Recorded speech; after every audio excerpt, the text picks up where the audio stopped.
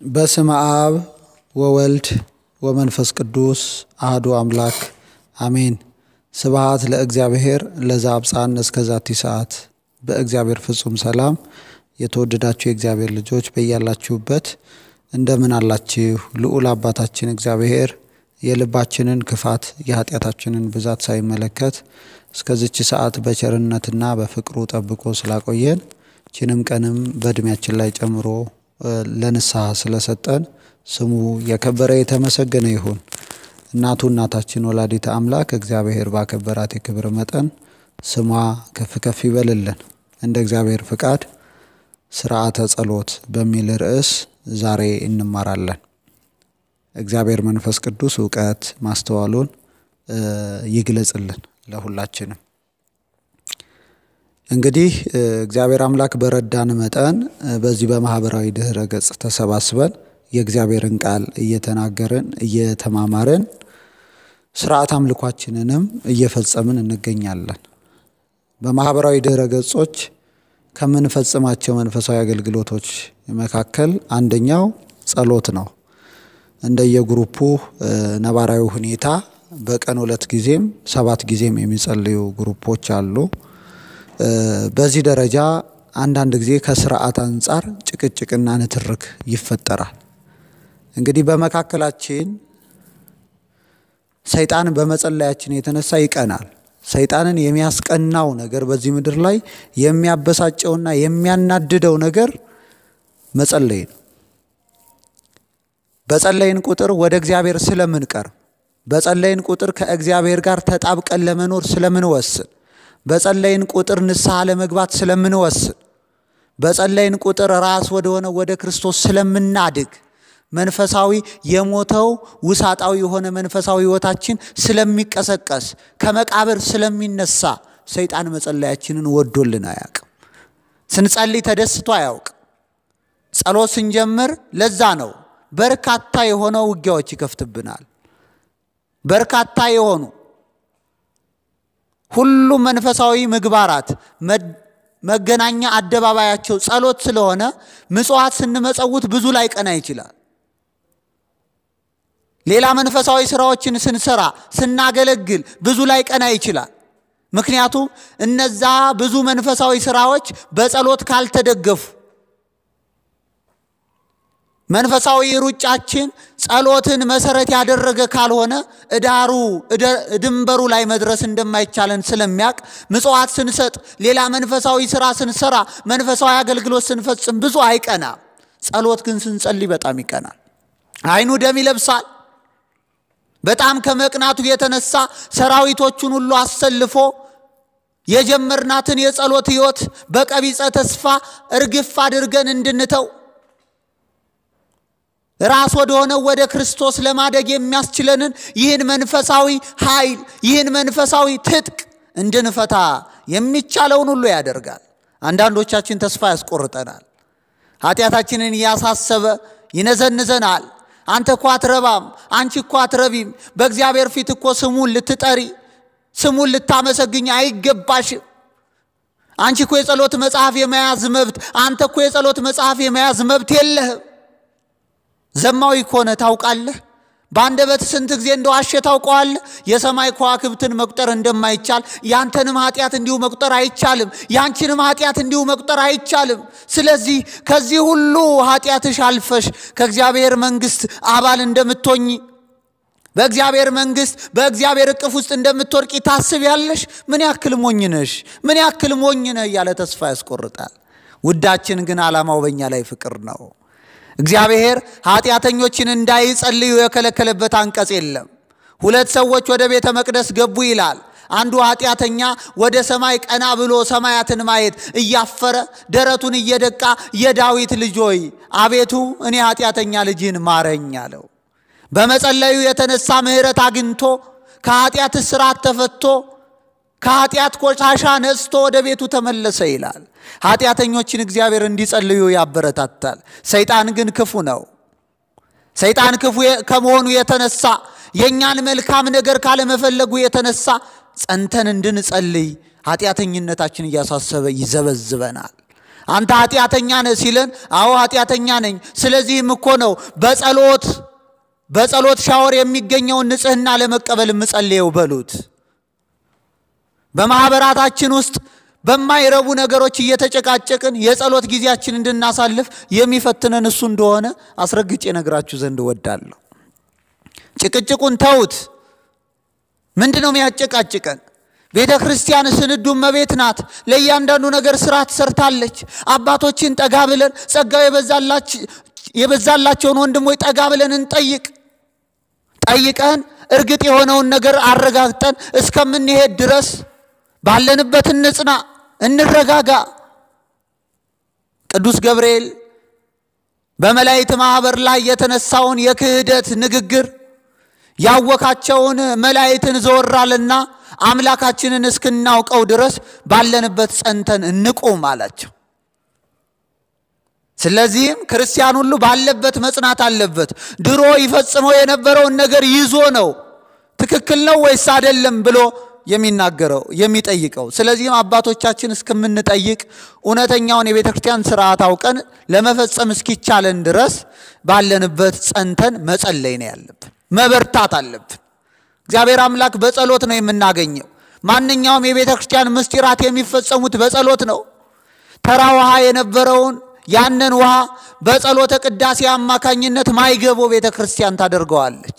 ተራ ህብስት የነበረው ተራ ወይን የነበረው ቤተ ክርስቲያን በቅዳሴው አማካኝነት የክርስቶስ ሥጋና ደም አድርጋ ትለውጠዋለች።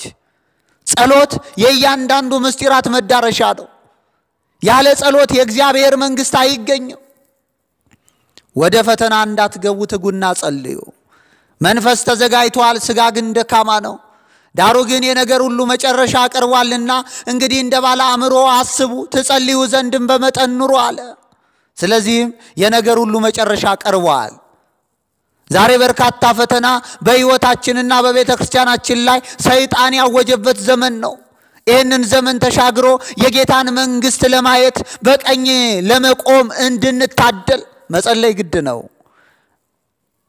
ኃጢአት የሠራ በደልና ርኩሰት የተገኘበት በማይገባ በማይገባ ቦታ ላይ ሲረማመድ የኖረ ሰው ቢኖር ይጸልይ። አቤቱ እንደ ቸርነት መጠን ማረኝ፣ እንደ ምሕረት ብዛት መተላለፌን ደምስስ፣ ከበደል ፈጽመ ጠበኝ፣ ከኃጢአትም አንጻኝ። እኔ መተላለፌን አውቃለሁ፣ ኃጢአቴ ሁልጊዜ በፊቴ ነው በፊት ነው። አንተን ብቻ በደልኩ፣ በፊትህ ክፋት አደረግኩኝ እያለ ይጸልይ። ኃጢአት እንደሰራ የተሰማው ሰው ቢኖር ኃጢአተኝነቱ በኃጢአተኝነቱ የተነሳ ልቦናው የከበደ ፊቱ የዳመነ ሰው ቢኖር በጌታ ፊት ምሕረትን ያገኝ ዘንድ በጸሎት ይንበርከክ። እግዚአብሔር ዘማዊውን ሰው በንስሐ ያነጻና ቅዱስ ያደርገዋል በጸሎት አማካኝነት። በሰማይና በምድር ፊት በደልኩ፣ ከወዲህ በኋላ ልጅ ልባል አይገባኝም፣ ከባሪያዎች እንደ አንዱ ልመደብ እንጂ ልቆጠር እንጂ ይበል። ተንበርክኮ ጌታ ሆይ ማረኝ ይበለው። በጸሎት ውስጥ ምሕረት ያገኛል። መጠበቅ የፈለገ ሰው ቢኖር የልቡን መሻት በእግዚአብሔር ፊት በጸሎት ይናገር። የሚጠብቀው እረኛችን እግዚአብሔር ነውና መጠበቅን ያማረው ሰው ቢኖር እግዚአብሔር እረኛዬ ነው፣ የሚያሳጣኝም ነገር የለም። በለመለመ መስክ ያሳድረኛል፣ በረፍት ዘንድ ይመራኛል። ነፍሴን መለሳት፣ ስለ ስሙ በጽድቅ መንገድ መራኝ። በሞት ጥላ መካከል እንኳ ብሄድ አንተ ከኔ ጋር ነህና ክፉውን አልፈራም። በሞት ጥላ መካከል እንኳ ብሄድ አንተ ከኔ ጋር ነህና ክፉውን አልፈራም። በትርህና ምርኩዝህ እነርሱ ያጽናኑኛል። በፊቴ ገበታን አዘጋጀህልኝ፣ በጠላቶቼ ፊት ለፊት ራሴን በዘይት ቀባኸኝ።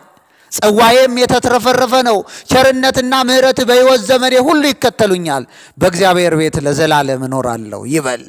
መጠበቅ የፈለገ ቢኖር እኔ ተኛው አንቀላፋው፣ እግዚአብሔር ግን ደገፈኝና ነቃው። ስለዚህም ጌታ ሆይ ስለ መንቃቴ በሌሊቱ የነበረውን ክፍለ ጊዜ ሁሉ ስለ ጠበቅከኝ አመሰግናለሁ ብሎ ማለዳ በእግዚአብሔር ፊት በጸሎት ይቆም። የሚያስፈራው የሚያስደነግጠው ነገር ያለ ሰው ቢኖር ፍርሃት እያርገበገበው ከሆነ አንዳች ነገር መጥቶ ያጠቃኛል፣ ያጠፋኛል ብሎ የሰጋ ሰው ቢኖር እግዚአብሔር ብርሃኔና መድኃኒቴ ነው፣ የሚያስፈራኝ ማን ነው? እግዚአብሔር የሕይወት የመተማመኛ ነው። የሚያስደነግጠኝ ማን ነው? ክፎይ ጠላቶቼ ሥጋዬን ይበሉ ዘንድ በቀረቡ ጊዜ እነርሱ ተሰነካክለው ወደቁ። ጠላት ቢከበኝ ልቤ እንኳ አይፈራም። እግዚአብሔር አንዲት ነገር ለመንኩት፣ እርሷን እምሻለሁ፣ በሕይወት ዘመኔ ሁሉ በእግዚአብሔር ቤት እኖር ዘንድ ይበል። የደከመ ሰው ካለ በጸሎት ይበርታ። ያደፈ ሰው ካለ በጸሎት ይነጻል። ንስሐ የሚያደርሰው ጎዳና እኮ ጸሎት ነው። ከቅዱስ ቁርባን እኮ የሚያደርሰው ጎዳና የሕይወት መንገድ እኮ ጸሎት ነው። ከፈተና ማዕበል ወጥተን ወደ መረጋጋት ሰገነት የምንወጣበት መወጣጫ መሰላል እኮ ጸሎት ነው። በምድር ላይ እያለን የጌታን መንግሥት በልባችን ውስጥ የጌታን ፍቅር በልባችን ውስጥ የምናቀጣጥልበት ቤንዚል እኮ ጸሎት ነው። ወዳጄ በክርስቶስ ፍቅር እለምንሃለሁ፣ ጸሎትህን ፈጽመህ አትተው። ምንም ተመስጦ ላይኖርህ ይችላል። በጸሎት ሰዓት ሕሊና ሊሰበሰብልህ አይችል ይሆናል። እግዚአብሔር ግን መሰብሰቡን እስኪሰጥህ፣ እግዚአብሔር በጸሎት ውስጥ ያለውን ጣዕም እስኪያቀምስህ፣ እግዚአብሔር በጸሎት ውስጥ የሚገኘውን ቁም ነገር ያለውን ጣዕም እስኪያቀምስ ድረስ ታገስ። እየጸለይክ ጠብቀው። ጌታ ሆይ እስከ መቼ ሕሊናዬን በፊት ሰብስቤ መቆም ያቅተኛል? እኔ ደካማ ልጅህን እርዳኝ እንጂ ሕሊናዬ አልተሰበሰበም ብለ ጸሎት አትተው። ሕሊናዬ አልተሰበሰበም ብለ ግን ጸልይ። እኔ እኮ ደጋግሜ ኃጢአት እየሰራው ነው። መጸለይም አይገባኝም። አትበል። በተደጋጋሚ የሚሰራውን ኃጢአት ከእኔ አርቅልኝ እያልክ ጸልይ እንጂ። እኔ ደካማ ነኝ፣ ብዙ ጊዜ ሰይጣን ያሸንፈኛል፣ ዓለማዊነት ያጠቃኛል፣ ትናንት የገባሁት ንስሐ ዛሬም ደግሜ እየሰራሁት ነው ብለ ጸሎትን አትተው። ትናንት የኖርከውን የኃጢአት ሕይወት ዛሬ እንዳይደገም ንስሐምም በፍሬ የታጀበ ፍሬያማ እንዲሆንልህ ጸልይ እንጂ አላፈራውም ብለህ አትተው። አስር ጊዜ ብትወድቅ አስር ጊዜ የሚያነሳ ጌታ አለህ። መነሳትህን ይሰጥህ ዘንድ በጸሎት ውስጥ ጠይቀው። እጠበኝ ቆሽሻለሁ በለው። እጠበኝ ከበረዶ ይልቅ ነጭ እሆናለሁ፣ ሐሴትና ደስታን አሰማኝ፣ የሰበርካቸው አጥንቶቼ ደስ ይላቸዋል። ጌታ ሆይ ጳውሎስን ከሳውልነት መርጠህ ምርጥ አድርገኸዋል፣ እኔንስ ለምን ተውከኝ? ጌታ ሆይ አዳምንም ቢሆን አትብላ የተባለውን ዕፀ በለስ በመብላቱ የተነሳ ዘጠና ዘጠኝ ነገደ መላእክትን ትተህ እሱን ፍለጋ በአጭር ቁመት በጠባብ ደረት ተገልጠሃል። ወደ ቀደመ ክብሩም መልሰኸዋል። እኔ ንሳ ጌታ ሆይ ፈልገኝ እንጂ በሉት። በጸሎት ውስጥ ቆዝሙ። በጸሎት ውስጥ እግዚአብሔር ጋር መወቃቀስ ከፈለጋችሁ ተወቃቀሱ። መንፈሳዊ ሕይወታችሁ መንፈሳዊ ሕይወቴ አላደገም ብላችሁ ግን የጸሎት ዝናራችሁን አትፍቱ። በምንም መልኩ ጸሎትን መተው መፍትሄ አይደለም። ሁሉ መፍትሄ ያለው በጸሎት ውስጥ ነው። አባ ጊዮርጊስ ዘጋስጫ እንዲህ አለ፣ ሰይጣንን ጸሎትን ማስታጎል ሰይጣንን ከሚያስደስቱ ድርጊቶች መካከል ጸሎትን እንደ ማስታጎል የለም ይላል። ሰይጣን ጮቤ የሚረግጠው በጣም ደስ የሚሰኘው ሰርጉ እንደተቦካ ሰው እጅግ በጣም በእልልታ ሰማያትን የሚያናውጸው ምድረ በቃ ምድር እስክትጠባው ድረስ የሚደሰተው ጸሎት ስንተው ነው። እውነቴን ነው የምነግራችሁ። የሚጸልዩ ሰዎች በኃጢአት አይወድቁ። በጸሎት ውስጥ ዕለት ዕለት ኑሩ። የኃጢአት ሕይወታችሁ እየደበዘዘ የጽድቅ ብርሃናችሁ የበለጠ እየፈካ ይሄዳል። ትናንት የነበራችሁን የኃጢአት ሕይወት በጸሎት ውስጥ ብትጸኑ ዕለት ዕለት እየራቃችሁት መሄዳችሁት ግልጽ ነው። ከዕለታት በአንደኛው ቀን ከዕለታት በአንደኛው ቀን ሰይጣን እናንተን ቀርቦ መፈተን በጣም ይከብደዋል። ራቅ ብሎ ነው የሚያያችሁ። ራቅ ብሎ ያያቸዋል። ራቅ ብሎ ስለሚያያችሁም ቀርቦ እንዳይፈትናችሁ የጸሎት ዝናር ታጥቃቸዋል። እናንተን መቅረብ እንዳይችል የእግዚአብሔር ስም እንደ ግንብ ሆኖ ይጠብቃቸዋል። ስመ እግዚአብሔር ከአንደበታችሁ አይጠፋማ። በዚህ የተነሳ ከእናንተ ፊት የመቆም አቅም የለውም። ራቅ ብሎ ግን እንዴት ብሎ ይፈትናችኋል? ዝሙት ስሩ አይደለም ይላችሁ፣ ስረቁ አይደለም ይላችሁ፣ ኃጢአት ስሩ አይደለም። የጸሎት ዝናራችሁን ለማስፈታት ግን ጥረት ያደርጋል። ማታ ወደ መኝታችሁ ስትሄዱ ማታ ወደ መኝታችሁ ስትሄዱ አቦ ደክሞሃል ተኛ ይላል። ምንድን ነው? ቁመህ እኮ ነው የዋልከው።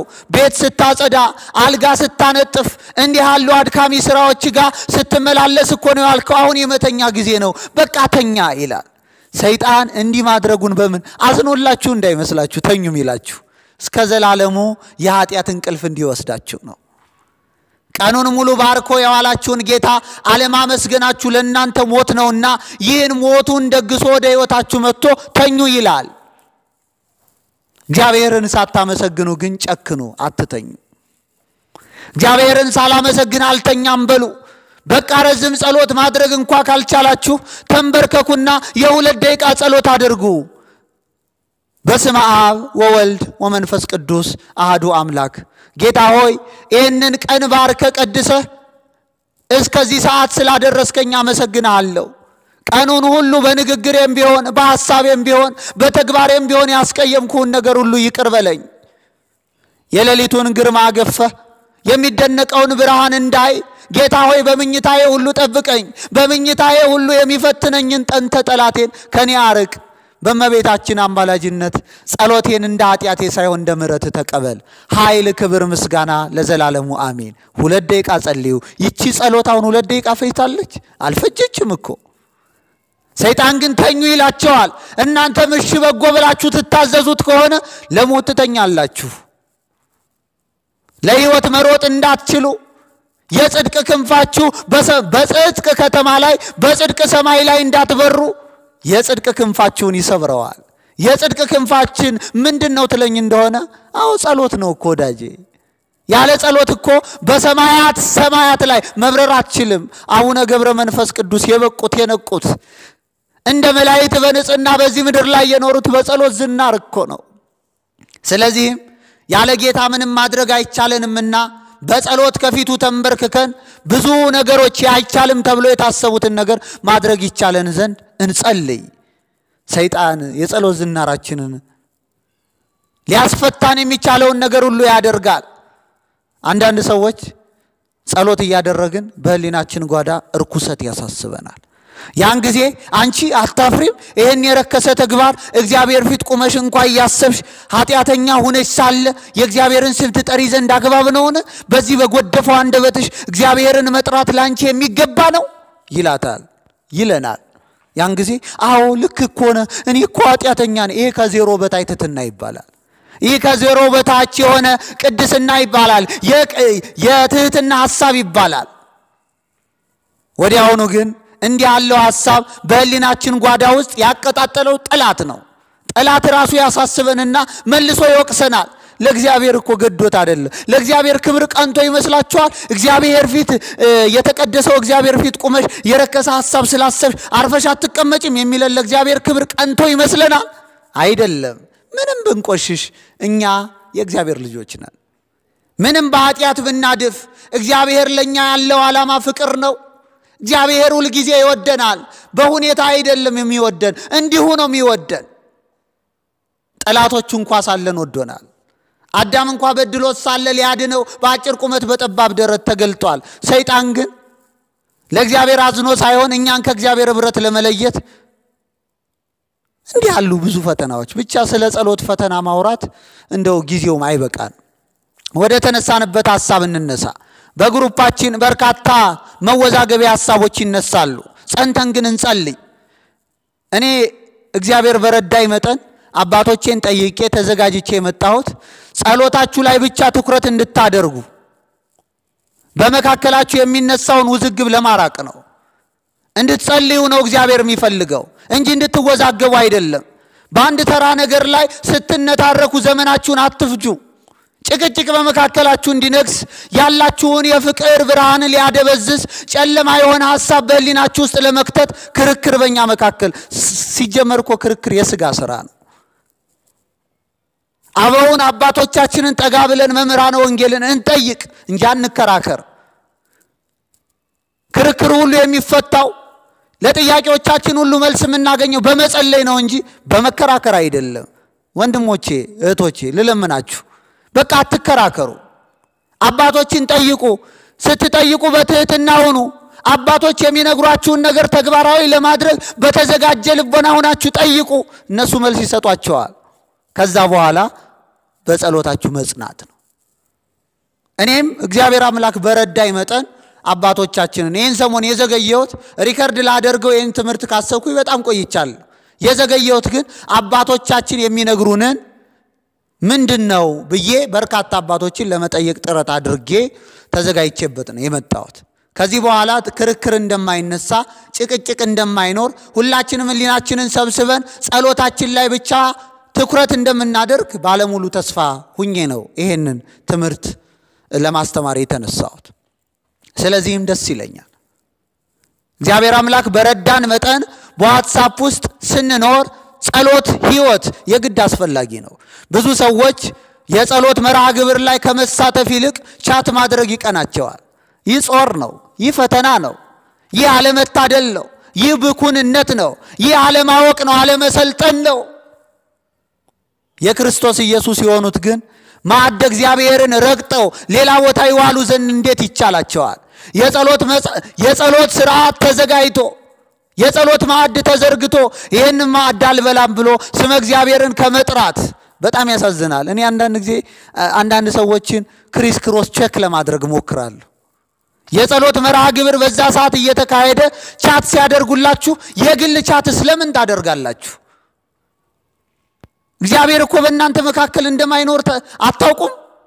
እንደሚኖር አታውቁም? አንድም ሶስትም ሁናችሁ በስሜ ብትሰበሰቡ እኔ መካከላችሁ እገኛለሁ። በስም አይደለ እንዴ የ WhatsApp ማህበራችሁ የተሰባሰበው? ታዲያ የጸሎት መርሃ ግብር ላይ ቁጭ ብላችሁ ሌላ ሰው ጋር ቻት ማድረግ ምን ማለት ነው? ማዕደ እግዚአብሔርን መናቅ አይመስላችሁ?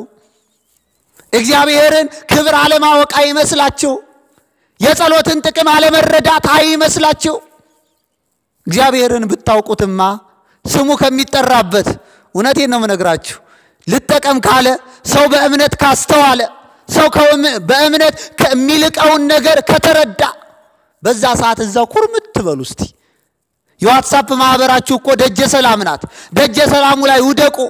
ምናልባት አስቸጋሪ ሁኔታ ካልሆነ በስተቀር ዋዛ ፈዛዛ ወሬ በጸሎት ሰዓት ከግለሰቦች ጋር ቻት ማድረግ በእውነት ይሄ በእውነት አለመታደል ነው። ልብ ያለው ሰው ጆሮ ያለው መስማትን ይስማ ይላል ወንጌላችን። ጆሮ ካላችሁ ስሙ። በቃ በጸሎት ሰዓት ላይ ስራ ላይ እንኳ ብትሆኑ ሌላ ሰው ጋር ቻት ከማድረግ ተከልክላችሁ ግዴታ የሆነባችሁን ስራ እየሰራችሁ ልባችሁን በጸሎት ጥመዱት። አቡነ ዘበሰማያትን አድርሱ በልባችሁ። ከጌታ ጋር ተነጋገሩ። ሰው እኮ ዕቃ እያጠበ ሊጸልይ እኮ ይችላል። ሰው እኮ ቤት እየጠረገ ሊጸልይ ይችላል። ልብስ እያጠበ ልብስ እየተኮሰ ዓለማዊ ስራዎቹን እያከናወነ እናውቃለን እኮ። አባቶቻችን ሰሌን ሲታቱ ጸሎት ላይ ናቸው።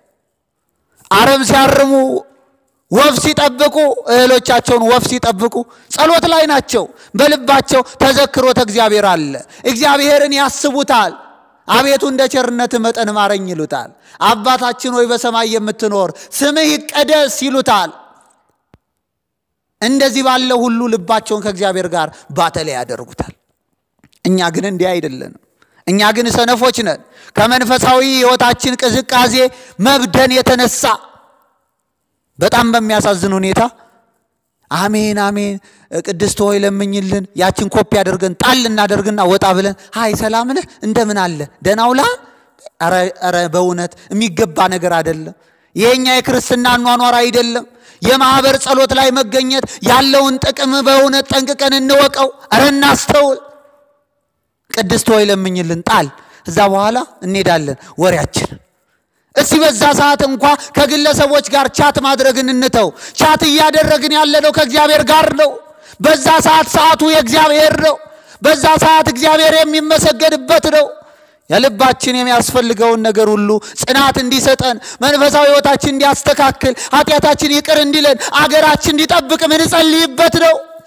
ቅድስት ሆይ ለምኝልን እያልን በጽሁፍ የምንለቀውን ከልባችንም ሰሌዳ ላይ እንጻፈው። በልባችንም ቻት እናድርግ። በልባችን መቤታችን እናዘክር። በልባችን መቤታችን እናስብ።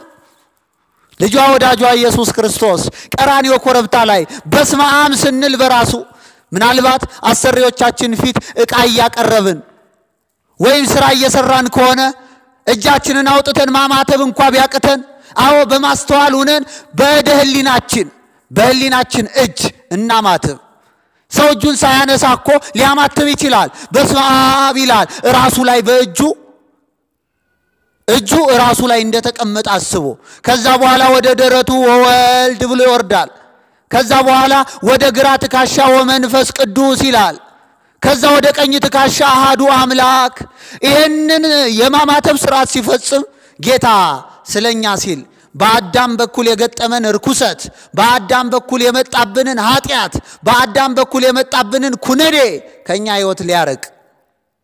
በአጭር ቁመት በጠባብ ደረት በሥጋ ማርያም በሪና ከሚኖርበት ከአብ ከመንበሩ ሳይለይ በታችም ሳይጨመርበት በሥጋ ማርያም የተገለጠበትን በምድር ላይ የመምጣቱን ነገር እያሰብን በግራ የነበርነውን እኛ በግራ ነው ወመንፈስ ቅዱስ ስንል በግራ በኩል ነው እጃችን የምናደርገው።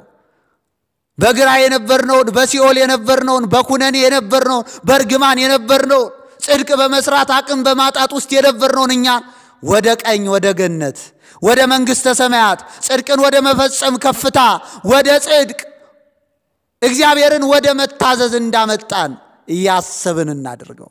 ይህን እያሰብን ከሆነ ዋትሳፕ ላይ በእውነት የጸሎት ሰዎች መሆን ይቻላል። ስለዚህም በእኛ መካከል የሚነሱ ጭቅጭቆች አሉ። አንዳንድ ጊዜ ጸሎትን ማስጀመር ሴት ልጅ አትችልም እንላለን። ይህንን የምንለው ስለ ጥቂት ሰዎች አይደለም። ብዙ ግሩፖች ላይ እንዲህ ያሉ መጨቃጨቆች ስለሚነሱ ነው። አንዳንድ ጊዜ የወድ ስዋ መላእክትን ሴት ማድረስ አይቻላትም፣ ስብሃት ማለት አይቻልም እንላለን።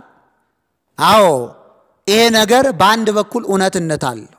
እውነትነቱ ምንድን ነው ካላችሁን፣ ወንድ ባለበት ካህን ባለበት ይቅርታ ጳጳስ ባለበት ካህን ጸሎት አያደርግም።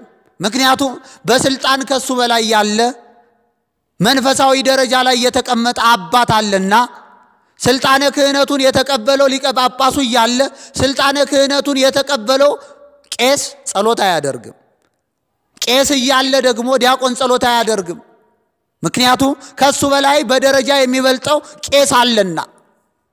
ዲያቆን እያለ ተራ ምእመን ወንድ ጸሎት አያደርግም። ምክንያቱም ከሱ በማይረግ የሚበልጥ ዲያቆን አለና። ወንድ እያለ ሴት አታደርግም። ጸሎት ያደርግ ዘንድ በማይበር ይናገር ዘንድ የተፈቀደለት ወንድ እያለ ሴት ጸሎት አታደርግምና ወንድ ከሌለ ካህን ከሌለ ዲያቆን ከሌለ እኒህ ያሉ ሰዎች ሁሉ ከሌሉ ሴት ጸሎት ማድረግ ትችላለች።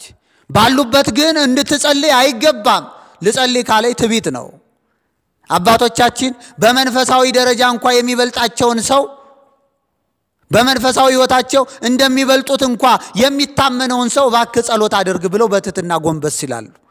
በእኛ መካከልም የአባቶቻችን የትህትና ሕይወት ይጠቅመናልና ጥብቀን ልንይዘው ይገባል። እከሊት እያለ እከሌ እያለ እኔ መጸለይ አይገባኝም እንበል እንጂ እኔ እያለው ማንም ሰው አይጸልይም አንበል። በ group ውስጥ ሴቶች እያሉ ወንዶች ሳይኖሩ ሴቶች ግን ማን ይጸልይላቸው? ሴት ልጅ የመጸለይ መብቷን በጉባኤ መካከል የሚገባቸው ሰዎች እያሉ እንዳትጸልይ ይከለክላል ስርዓተ ቤተ ክርስቲያን። ሰዎች ግን የሚገባቸው ሰዎች ከሌሉ ያነ ጉባኤ ሴቶች ብቻ ካሉበት ሴቶች ብቻ ካሉበት ሴት በሴት አማካኝነት ጸሎት ይጀመራል። በስማም ብላ ልታስጀምር ትችላለች። ስብሃት ብላ ልትጀምር ትችላለች። ስብሃት ልታስብል የወድ ስዋ መላእክት ላይ አዎ እሱን ሁሉ ነገሮች ማድረስ ትችላለች። ወንድ በሌለበት አንዳንድ ግሩፖች ላይ ወንድሞች አሉ ግን አያገለግሉ፣ ዲያቆናት አሉ ግን አያገለግሉ። የማያገለግሉ ከሆነ የሉም ማለት ነው። ስለሌሉ ሴቶች መጀመር ይችላሉ። ስለዚህም በዚህ መልኩ ማስኬድ መቻል አለብን። እግዚአብሔር አምላክ በረዳን መጠን ወንድ እያለ ሴት እንድትጸልይ የቤተ ክርስቲያን ስርዓት አያዝም። ማንም እስከሌለ ግን ሴቶች ብቻ በማህበር ካሉ የማ ጸሎቱን የማስጀመር ማንኛውንም ስርዓተ ጸሎት የማስኬድ መብት አላት። ስለዚህ የማሳረጊያ ጸሎት ላይ የአበው የአባቶቻችን record አለ። እሱን በማስተላለፍ በየመካከሉ ግን ያሉትን ነገሮች ሁሉ እኛ ማስኬድ መብት አለን ማለት ነው። የጸሎት ስርዓታችን ሲጀመር አአትብ ገጽዬ ወኩለንታዬ በትምህርተ መስቀል በስመ አብ ወወልድ ወመንፈስ ቅዱስ አሃዱ አምላክ በቅድስተ ሥላሴ እንዘ አአምን ወትማሐፀን እክህደከ ሰይጣን በቅድመ ዛቲ እመየ ቅድስት ቤተ ክርስቲያን እንታ ይእቲ ስመየ ማርያም ጽዮን ለዓለም ዓለም። አሁን ጸሎታችን የሚጀመረው በዚህ ነው። በጌታዬ በመድኃኒታችን በኢየሱስ ክርስቶስ መስቀል መላ ሰውነታችንን በሥላሴ ስም እናማትብ ተብሎ ነው የሚጀመረው። ማማተቡ ከተጀመረ በኋላ ጸሎቱ ተከፈተ ማለት ነው። ጸሎቱ ከተከፈተ በኋላ ሌላ ማማተብ አይኖረው። ሌላ ማማተብ በፍጹምም ሊኖር አይችልም። ማማተብ አይኖረው። እናስተውል። ቤተ ክርስቲያን ስርዓት ስርዓተ ቅዳሴ ሲከናወን ስርዓተ ማህሌቱ ላይ ተገኝተን ከሆነ አባቶቻችን የአደራረስ ስርዓት አላቸው። ያንን ስርዓት ጠንቅቀን ማወቅ አለብን። ለምሳሌ አትብ ገጼ ከተባለ በኋላ ውዳሴ ማርያም ይደርሳል። ውዳሴ ማርያም ስናደርስ እግዝእቴ የፍትህን የማይሰሮ ለሰይጣን እሙ ለመድህን ወለተ ብርሃን። ከዛ የዕለቱ ውዳሴ ማርያም ይደርሳል። የዕለቱ ውዳሴ ማርያም ከደረሰ በኋላ ከውዳሴ ማርያም ወደ አንቀጸ ብርሃን ስንሸጋገር ምን እንላለን? እንበል አቡነ ዘበሰማያት አቡነ ዘበሰማያት ይባላል። ከዛ በኋላ አንቀጸ ብርሃን ይደርሳል። አንቀጸ ብርሃን ከደረሰ በኋላ ቀጥታ ወዴት እንሄዳለን? ወደ አንቀጸ ብርሃን ከጨረስን በኋላ አቡነ ዘበሰማያት እንላለን። አቡነ ዘበሰማያት ካልን በኋላ ወደ ይዌድ ስዋ መላየት ይዌድ ስዋ መላየትን ልክ ስናደርስ እሱን ከጨረስን በኋላ አቡነ ዘበሰማያት እንልና ወደ ሌላው መርሃ ግብራችን ወደ ሌላው ወደ አስለመድነው ጸሎት እንሄዳለን። በእኛ መካከል አሁን የሚፈጸሙ ስህተቶች አሉ። ለምሳሌ ውዳሴ ማርያም እየደረሰ ሳለ አሜን አሜን እንላለን። አሁን ቅድስት ሆይ ለምኝልን የሚለው አንቀጽ ላይ አባቶቻችን አሚን ብለው አልጻፉ። እናስተውል።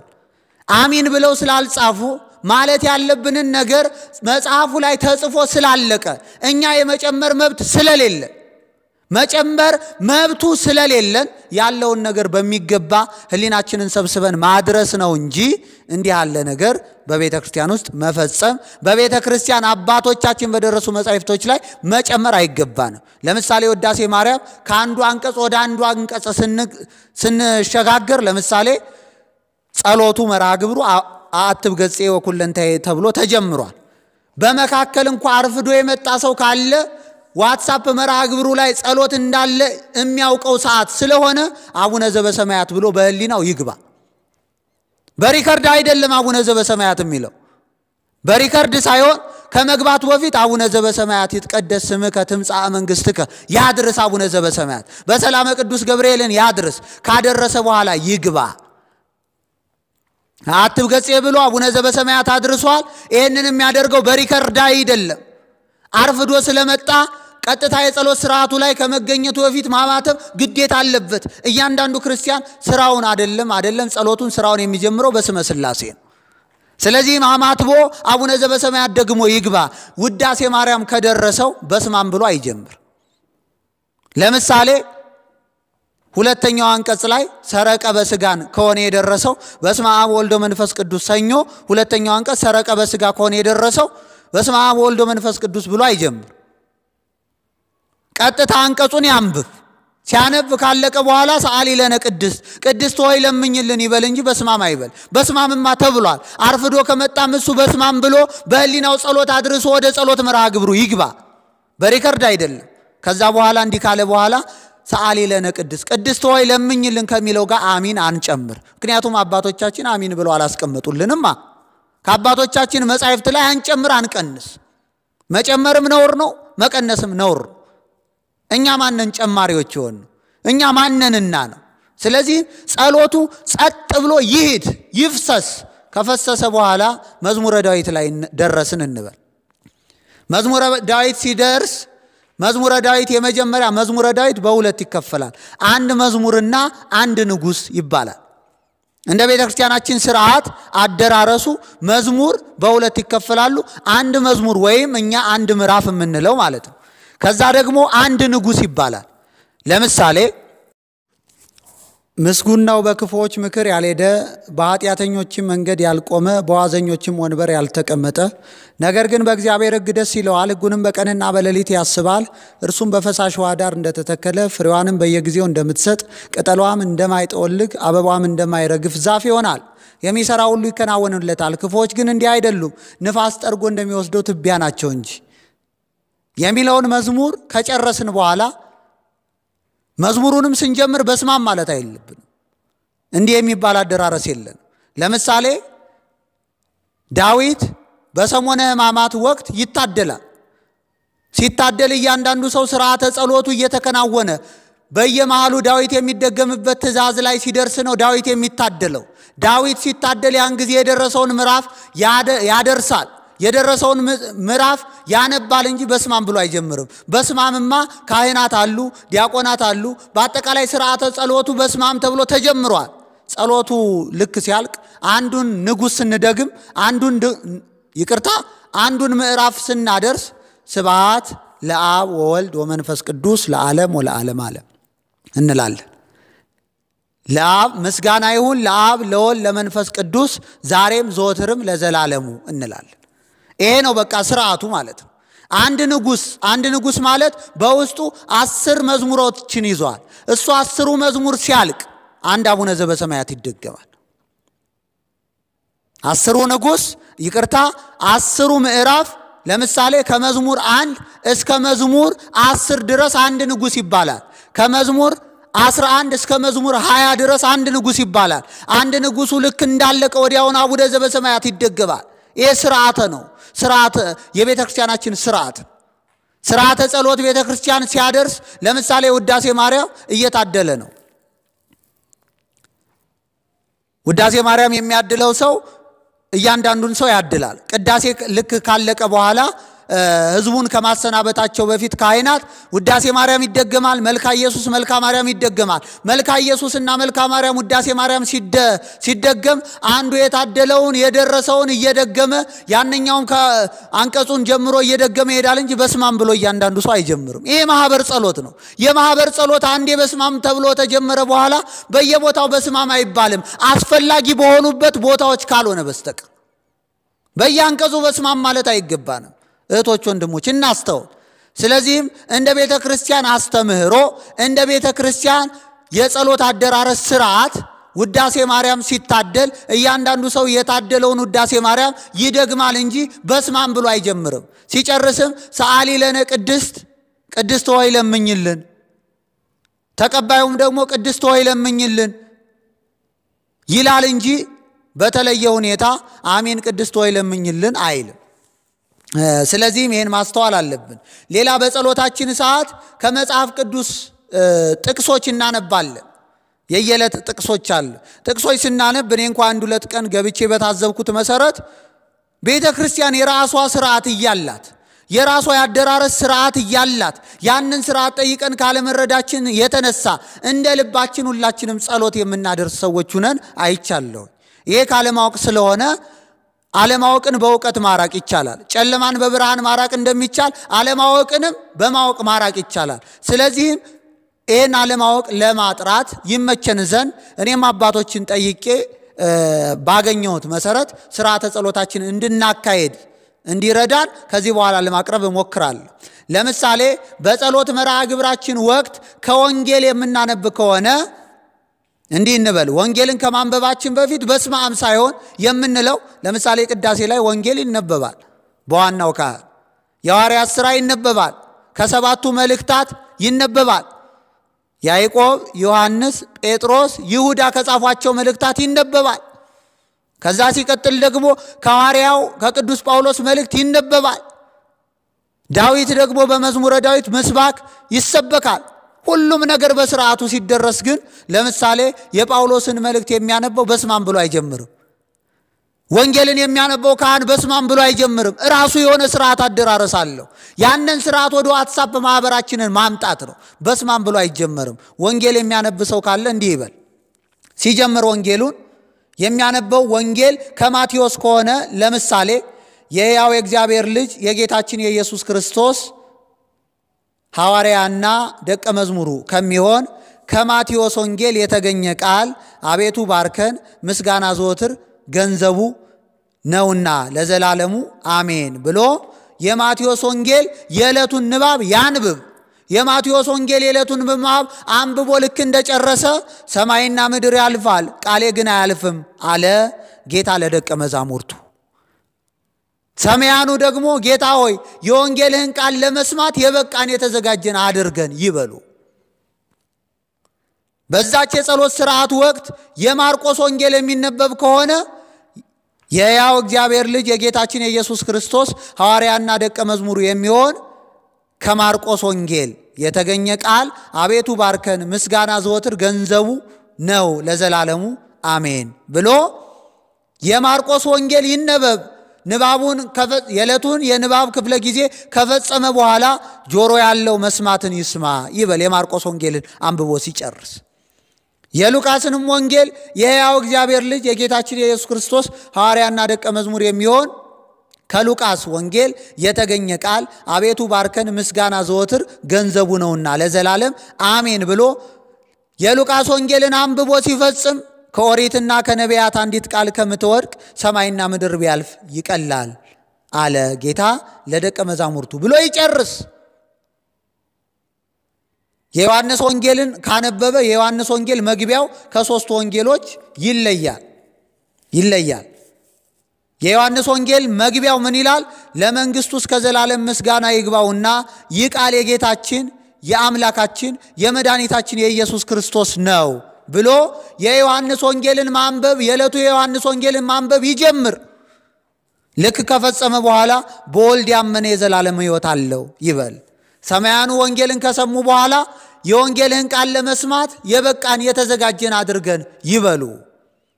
ከዛ በኋላ ምናልባት በዕለቱ የጸሎት መርሃ ግብራችን ላይ የቅዱስ ጳውሎስን መልእክታት ማንበብ ካለብን የምናነብበት መርሃ ግብር ካለ በስማም ብለን አንጀምር።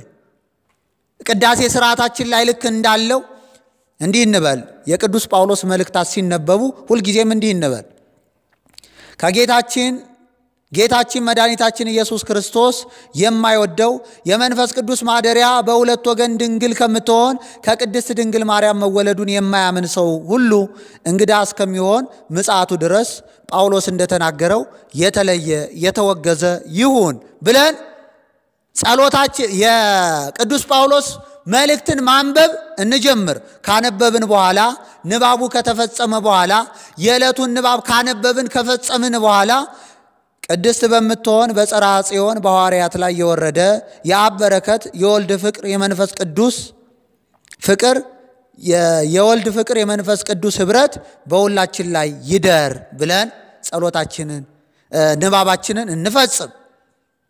ምናልባት ከያዕቆብ ከቅዱስ ያዕቆብ ከቅዱስ ጴጥሮስ ከቅዱስ ዮሐንስ ከቅዱስ ይሁዳ መልእክታት የምናነብ ከሆነ ደግሞ መጀመሪያ እንዲህ እንበል። የጌታችን የኢየሱስ ክርስቶስ ሐዋርያ እረዱ ከሚሆን ከዮሐንስ ከሆነ የተገኘው ከዮሐንስ መልእክት የተገኘ ቃል ይህ ነው እንበል። ከያዕቆብ የሚገኝ ከሆነ ደግሞ የጌታችን የኢየሱስ ክርስቶስ ሐዋርያ እረዱ ከሚሆን ከያዕቆብ የተገኘ መልእክት ይህ ነው ብለን እናንብብ። ይህ ነው ጸሎትና በረከቱ ከማኅበራችን ጋር ለዘላለም ይኑር። ለምሳሌ ማኅበራችን የቅድስት ድንግል ማርያም ማኅበር ከሆነ ጸሎትና በረከቱ ከማኅበራችን ከቅድስት ድንግል ማርያም ጋር ይኑር ለዘላለሙ እንላለን። የማኅበራችንን ስም ጠርተን በረከቱ እንዲደርስብን ተመኝተን ንባቡን እንጀምራለን። ንባቡን አንብበን እንደጨረስን ወንድሞች ሆይ ይህንን ዓለም አትውደዱ፣ ዓለሙ በዓለሙ ውስጥ ያለው አላፊ ነውና ብለን ንባባችንን እንጨርሳለን። ከዛ የሐዋርያት ሥራን ማንበብ ካለብን ደግሞ እንዲህ እንላለን። ንጹሕ ከሚሆን ከሕግ ምንጮች የተገኘ ጥሩ ምንጭ ይኸውም የሐዋርያት የሥራቸው ነገር ነው። የጸሎታቸው በረከት ከማኅበራችን ጋር ይሁን ለዘላለም አሜን ብለን እናነባለን። የሐዋርያት ሥራን አንብበን ከፈጸምን በኋላ የእግዚአብሔር ቃል ፈጽሞ መላ ከፍ ከፍም አለ። በቅድስት ቤተ ክርስቲያን በስቶ ተጨመረ። ምስጋና ገንዘቡ በሚሆን በጌታችን በኢየሱስ ክርስቶስ ያመኑትን ሕዝቦች ሁሉ አበዛ እንበል። እንግዲህ ስርዓተ ጸሎታችን የሚደርሰው በዚህ መልኩ ነው። ወንጌል ሲነበብ በስማም ተብሎ አይጀመርም። ምክንያቱም በስማም ተብሎ ጸሎቱ ተጀምሯል። የሚባለው ምንድን ነው ካላችሁኝ፣ ቅዳሴ ላይ የሚነገሩትን በየአንቀጽ እነዚህ ናቸው። ስለዚህ እነዚህን ተግባራዊ እናደርጋቸው። ወንድ እያለ ሴት ልጸልይ አትበል። ወንዶች ከሌሉ ሴቶች አይጸልዩም ደግሞ አንበል። ስብሃት የሚለውን ስብሃት እኮ በነገራችን ላይ ሁላችን እንድናደርሰው ከምግብ በኋላ በልተን ከጨረስን በኋላ ሁላችን እንድናደርሰው አበው ሊቃውንተ ቤተ ክርስቲያን ስርዓት ሰርተዋል። በልቶ የማያመሰግን ሰው ቢኖር እሱ በእውነት ከአህያ ጋር አንድ ነው፣ ከእንስሳ ጋር አንድ ነው። ሰብእሰ ክቡር ውእቱ ሰብ ሰውስ ክቡር ሆኖ ሳለ ተፈጥሮ ሳለ አያውቅም፣ ሳር እንደሚግጥ እንደ በሬ መሰለ ይላል መጽሐፍ። ስለዚህ ስብሃት ማድረስ የቤተ ክርስቲያናችን ስርዓት ነው። ያንን ስርዓት በአግባቡ መፈጸም የሚቻለን በማህበር መካከል ወንድ ዲያቆናት ካሉ ተነስተው ዲያቆናት ይላሉ። እንደውም ይልቁን ስብሃት የሚያደርሰው ታናሽ ነኝ ብሎ የሚያምን ሰው ለምሳሌ ትልልቅ አባቶች ከቆሙ ስብሃት የሚለው አነስ ያለው በእድሜ አነስ በጸጋ አነስ ያለው ሰው ብድግ ብሎ ስብሃት ለአብ ስብሃት ለወልድ ስብሃት ለመንፈስ ቅዱስ ይደልዎሙ ለአብ ወልድ መንፈስ ቅዱስ እየተባለ ይደርሳል። ስብሃት ለእግዝእትነ ድንግል ወላዲተ አምላክ ይደለዋ ለእግዝእትነ እያልን እናመሰግናለን። ለአብ ምስጋና ይገባል፣ ለወልድ ምስጋና ይገባል፣ ለመንፈስ ቅዱስ እውነት ነው ይገባዋል። ለአብ ምስጋና ይገባል፣ ለወልድ ምስጋና፣ ለመንፈስ ቅዱስ ምስጋና ይገባል። ይሄንን በየአንቀጹ አልተጻፈም የሚሉ ሰዎች አሉ። ይሄ መልስ ግን ተጽፏል። ስብሐት ስንል ይደልዎሙ እያልን እንድንቀበል ይህንን ከፈለጋችሁ የግዕዝ ውዳሴ ማርያም ያላችሁ የዘወትር ጸሎት ላይ መመልከት ትችላላችሁ። ስለዚህም ስርዓተ ጸሎታችንን በዚህ መልኩ እናድርስ፣ በዚህ መልኩ እናድርስ። በዚህ መልኩ ካደረስን በኋላ እግዚአብሔር በረዳን መጠን በረድኤት ሐዋርያት እኛ ጋር አይለዩ፣ ቅዱሳን በረድኤት ከእኛ ጋር አይለዩ። መጽሐፉን የጻፉት አበው ቅዱሳን ሁሉ ከእኛ ጋር በረድኤት አይለዩ። ከዛ ባለፈ ድርሳናትን የምናነብ ከሆነ ድርሳናት መጽሐፍ ላይ በስማም ተብሎ ይጀመራልና በስማም እንበል። ከአባቶቻችን ቃል መቀነስ የለብንም አደለ? ድርሳናትን የሚያደርስ ድርሳናትን የሚደግም ሰው ካለ በስመ አብ ወወልድ ወመንፈስ ቅዱስ ብሎ ይጀምር። ሌሎቹ ላይ ግን እንደዚህ በተሰናዳ በአማረ መልኩ አባቶቻችን በቅዳሴ ስርዓት ውስጥ ስርዓተ ጸሎትን እንደሚፈጽሙት እንደ አባቶቻችን የዋትሳፕ ግሩፓችንን የጸሎት ስርዓት በዚህ መልኩ እናደራጅ፣ በዚህ መልኩ እናድርስ። ረድኤተ ቅዱሳን በዚህ መልኩ ብናደርስ ይደርስልናልና ሁላችንም በጸሎት ተግተን እንድንኖር አምላካችን እግዚአብሔር ጸሎትና ጾም ወዳዶች እንዲያደርገን ቅዱስ ፍቃዱ ይሆንልን። ወስብሐት ለእግዚአብሔር ወለወላዲቱ ድንግል ወለመስቀሉ ክቡር። ይቆየን።